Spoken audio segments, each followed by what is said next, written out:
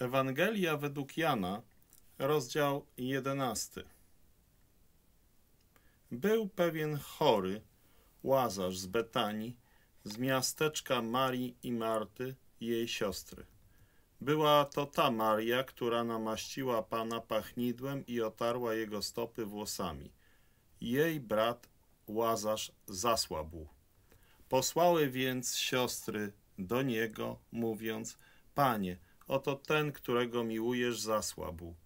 Gdy to Jezus usłyszał, powiedział: Ta słabość nie jest na śmierć, ale dla chwały Bożej, aby przez nią był uwielbiony Syn Boży. Jezus miłował Martę i jej siostrę i Łazarza.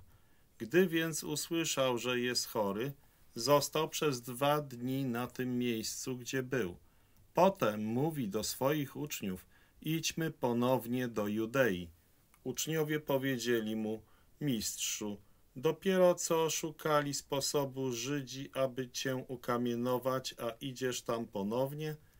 Jezus odpowiedział: Czy dzień nie ma dwunastu godzin?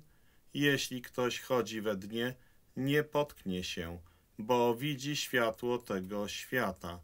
Jeśli natomiast ktoś chodzi w nocy, potknie się, bo nie ma w nim światła. Po tych słowach dopowiedział: Łazarz, przyjaciel nasz, zasnął, ale idę go obudzić. Wtedy jego uczniowie powiedzieli: Panie, jeśli zasnął, zostanie uratowany. Jezus jednak mówił o jego śmierci. Oni jednak myśleli, że mówił o zwykłym śnie. Jezus więc powiedział im wtedy wyraźnie: Łazarz umarł i cieszę się ze względu na was, że tam nie byłem, abyście wy uwierzyli, ale pójdźmy do niego. Powiedział więc Tomasz, zwany bliźniakiem, do współuczniów: Pójdźmy i my, abyśmy z nim pomarli. Jezus więc przyszedł i znalazł go, leżącego już cztery dni w grobie. Betania była blisko Jerozolimy, oddalona około piętnastu stadiów. Przyszło wielu Żydów do Marty i Marii, aby je pocieszać po ich bracie. Marta wtedy, gdy usłyszała, że idzie Jezus, wyszła mu naprzeciw. Maria zaś siedziała w domu. Marta więc powiedziała do Jezusa: Panie, gdybyś tutaj był, mój brat by nie umarł. Wiem, że i teraz o cokolwiek prosiłbyś Boga, da ci to Bóg. Jezus powiedział jej: Twój brat zmartwychwstanie. Marta powiedziała mu: Wiem, że zmartwychwstanie przy zmartwychwstaniu w dniu ostatnim. Jezus powiedział jej: Ja jestem zmartwychwstaniem i życiem. Kto mi wierzy, choćby umarł, będzie żył. Każdy, kto żyje i mi wierzy, nigdy nie umrze. Wierzysz temu?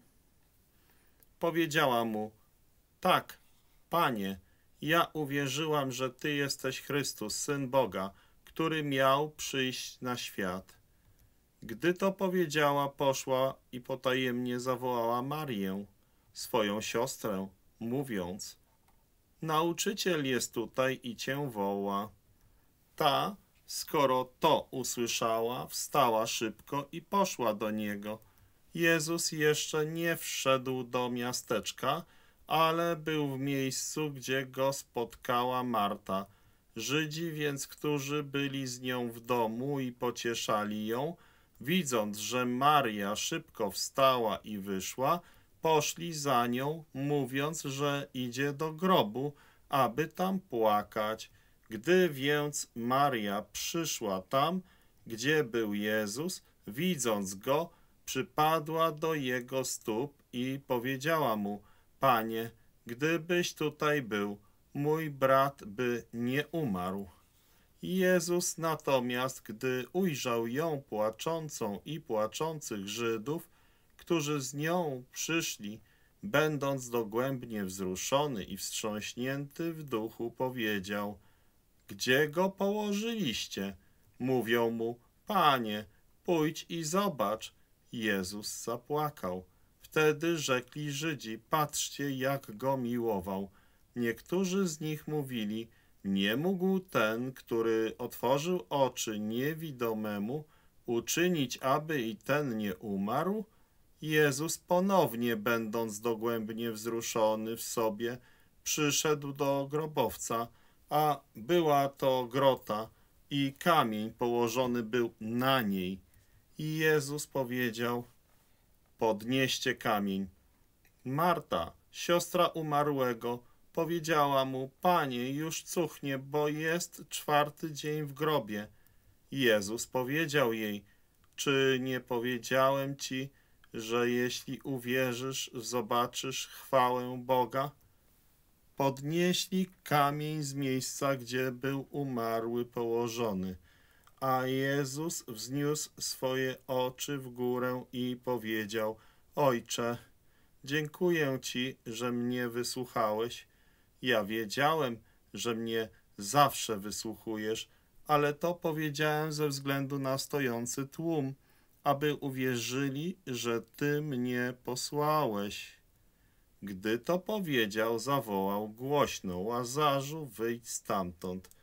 Wyszedł umarły, mając związane stopy i ręce pasmami płótna, a jego twarz była obwiązana chustką.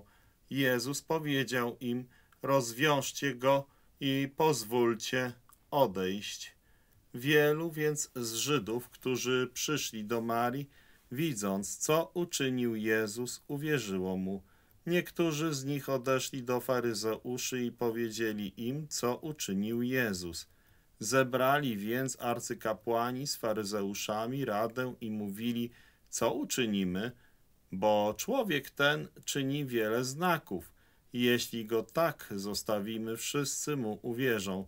Przyjdą Rzymianie i zabiorą nam miejsce i naród. Jeden z nich, Kajfasz, który był arcykapłanem tego roku, powiedział im: Wy nic nie wiecie. Nie bierzecie pod rozwagę, iż lepiej jest dla nas, żeby jeden człowiek umarł za ludzi, aby nie zginął cały naród. Nie mówił tego od siebie, ale będąc arcykapłanem tego roku, prorokował, że Jezus miał umrzeć za naród, a nie jedynie za naród, ale żeby też w jedno zgromadzić rozproszone dzieci Boże. Tego dnia zaplanowali, aby go zamordować. Jezus więc już nie chodził jawnie między Żydami, ale odszedł stamtąd do bliskiej pustkowia, krainy, do miasta, które nazywa się Efraim i tam przebywał ze swoimi uczniami. Była blisko Pascha żydowska i wielu z kraju szło do Jerozolimy przed Paschą, aby się oczyścić. Szukali Jezusa i mówili jedni do drugich, stojąc w świątyni, jak się wam zdaje, pewnie nie przyjdzie na święto. Arcykapłani z faryzeuszami wydali przykazanie, aby jeśli ktoś się dowie, gdzie jest, żeby doniósł aby go pojmać.